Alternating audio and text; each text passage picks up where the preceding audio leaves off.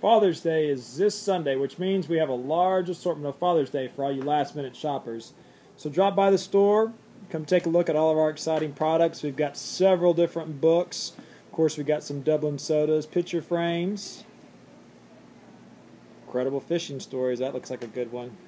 Got some old retro newspapers, which have got some great little uh, legends of pro football, SEC football, all sorts of fun stuff there. We've got hats, coffee mugs, barbecue tools, you name it, we've got it. So come on by the store anytime. We've got a sale going on starting Wednesday through Saturday. Have a great one.